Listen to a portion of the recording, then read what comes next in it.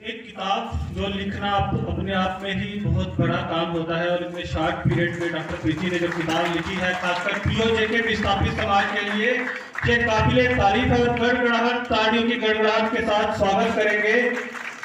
मैं आपको बता दूँ कि डॉक्टर प्रीति भगत पीओजे के समाज से नहीं आती है, परंतु वो अपना दर्द जानती हैं, दर्द समझती हैं और एक ऐतिहासिक किताब इन्होंने लिखी है। अब मैं प्रीति भगत जी से कहूँगा कि वो आए और इस किताब पर रोशनी डालें।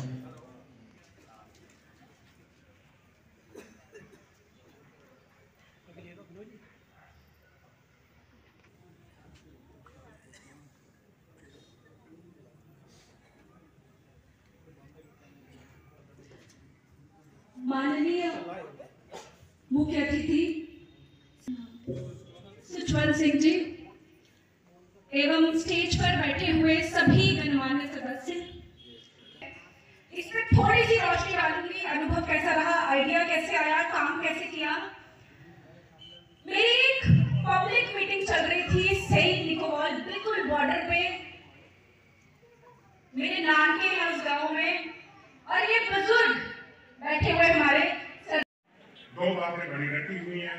पार्लियामेंट का रेजोल्यूशन है, वो और हमको वापस भेजना है, ये तो आप सबको जानकारी है। आपसे सवाल है, ये मैंने मिनिस्टरों को सुना आप लोगे कैसे लोगे इसका जवाब उनके पास और मुझे लगता है कि किसी के पास है भी नहीं, क्योंकि बहुत कुछ कहा गया है।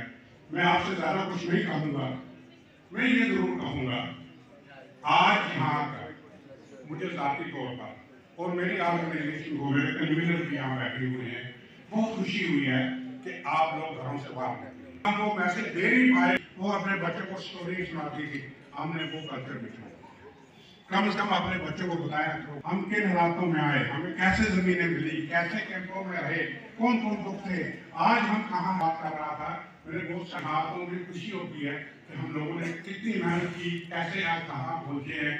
लेकिन ये सरकारों की वजह से नहीं, ये अपनी मेहनत की वजह से अभी जमीनों का ज़िक्र हो रहा था। बात होगा वो देखा जाएगा। अभी एक साल हमारे आए थे रेलवे हेल्पलाइन लाइन लेनी है। ਪਰਸਨੈਲਿਟੀ ਔਰ ਮੇਰੇ ਬਜ਼ੁਰਗ ਮੁਅੱਜ਼ਲ ਭਰਾ ਮੇਰੇ ਟਾਈਮ ਬਹੁਤ ਜ਼ਿਆਦਾ ਹੋ ਗਿਆ ਮੈਂ ਕੁਝ ਬੋਲਾਂਗਾ ਨਹੀਂ। ਸਿਰਫ ਜਿਹੜਾ ਦੋ ਲਫ਼ਜ਼ ਜਦੋਂ ਕਿਸੇ ਵੀ ਕੰਮ ਨੂੰ ਸ਼ੁਰੂ ਕਰੀਏ ਤੇ ਪਹਿਲਾਂ ਰੱਬ ਦਾ ਨਾਮ ਕਹੀਏ ਫਿਰ ਗੁਰੂਆਂ, ਪੀਰਾਂ, ਪੈਗੰਬਰਾਂ ਨੂੰ ਦਮ ਦਮ ਦਰੂਦ ਪੁੱਛ ਕਰੀਏ। पल्ले डोलता हूँ ते बन गए गंडी बन ना लाल ले जाइए जी।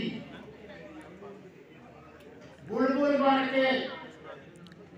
जय जिए बागे भरे बाग कामा के ज़्यादा नहीं बोला था, क्योंकि जनता जी ने ज़मीन बैठी वहाँ टाइम उनके प्रचार भी करेंगे सब कुछ करेंगे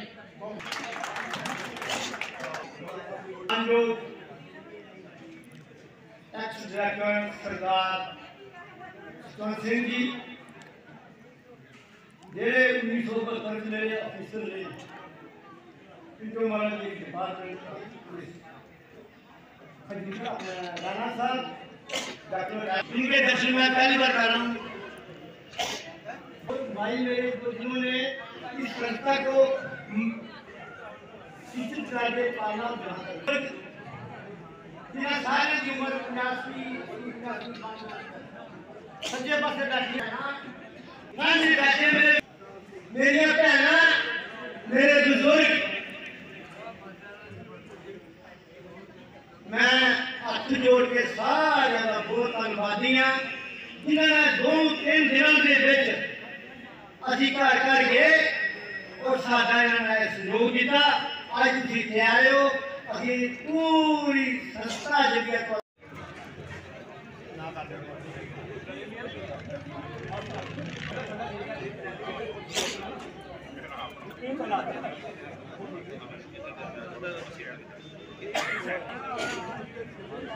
पापा इधर देखियो साहब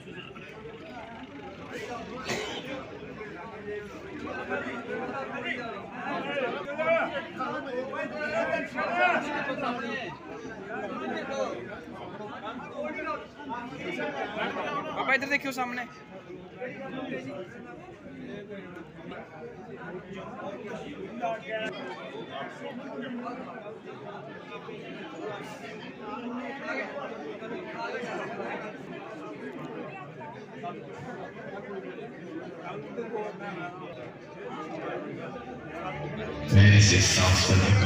सर सामने देखो।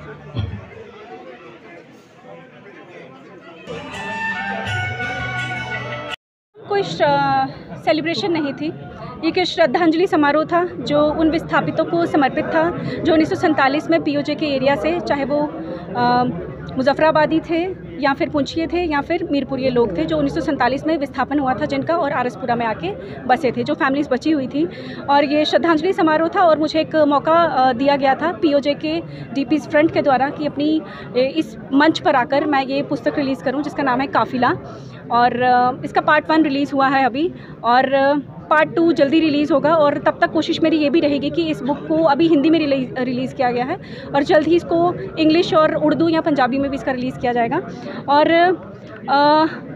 इसमें कोशिश की गई है बीस स्टोरीज़ को कवर करने की। बेशक मैं यहाँ वर्ड स्टोरी यूज़ कर रही हूँ, पर ये बड़ा गलत शब्द है। स्टोरी जो मेरे लिए स्टोरी है, वो शायद किसी बुज़ुर्ग की पूरी ज़िंदगी की दास्तान थी और बड़ी ही दर्द भरी दास्तान थी। बड़ा इमोशनल टच दिया गया है। बिल्कुल ओरिजिनल है ऑथेंटिक इन्फॉर्मेशन है, जो उस समय इन बुज़ुर्गों ने उस बचपन, बचपने में देखा था। और भू बहू उन्हें वैसे ही लिखने की कोशिश की गई है। थोड़ा सा फाउंडेशन तैयार किया गया है, ताकि जो नहीं जानता पीओजे के विस्थापितों के बारे में दो तीन चैप्टर्स उनको समर्पित है, एक फाउंडेशन बनाया जाए।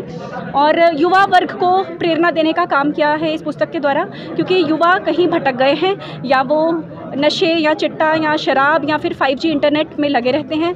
तो इस इन परिवारों की जो तीसरी या चौथी पीढ़ी है वो अपना इतिहास भूल चुकी है। तो एक प्रयास है मेरा छोटा सा उनके लिए कि अपना इतिहास जानिए और इतिहास जानकर ही आप अपने भविष्य का निर्माण कर पाएँगे। एक के लिए जो आपने किया इसका क्या जी ये एक्चुअली क्योंकि ये जो बॉर्डर बेल्ट है यहाँ मैं गलत नहीं कहूँगी कोई पचुंजा परसेंट जो हैं वो लोग जो हैं विस्थापित हैं और इनको जागरूक करना बहुत ज़रूरी था। आ, अब देखिए यहाँ लोग जो हैं विस्थापित वो ब्राह्मण भी हैं, राजपूत भी हैं शेड्यूल कास्ट बिरादरी के हैं, जाट हैं। ये लोग कभी एकजुट नहीं हुए और इसलिए इनका कहीं ना कहीं डॉक्यूमेंटेशन पे जो काम था वो कभी हो ही नहीं पाया। तो एक छोटा सा प्रयास का, प्रयास था मेरा इन सभी लोगों को इकट्ठा करना एक मंच के तले, चाहे वो किसी भी कास्ट के हैं पर रिफ्यूजी हैं। अब रिफ्यूजी जो हैं रिफ्यूजी यहाँ गलत शब्द है, इसको डिस्प्लेस्ड पर्सनस बोलूँगी मैं, या विस्थापित बोलूँगी, जो अपने आप में एक कम्युनिटी बन गई है, उसमें सभी समाज के लोग हैं, सभी बिरादरी के लोग हैं। तो ये अच्छी बात ये थी कि इन लोगों ने अपने घरों से एक एक मुट्ठी, कम से कम चावल भेजे हैं और अपने उन शहीदों को, उन लोगों को एक श्रद्धांजलि इनकी तरफ़ से दी गई, जो लोग इनके परिवारों से वहाँ से यहाँ नहीं आ पाए। नहीं, मैं नहीं कह सकती कि विस्थापितों को इंसाफ मिलना था, जो मिल चुका है। लड़ाई बहुत लंबी है। इनके साथ बहुत ना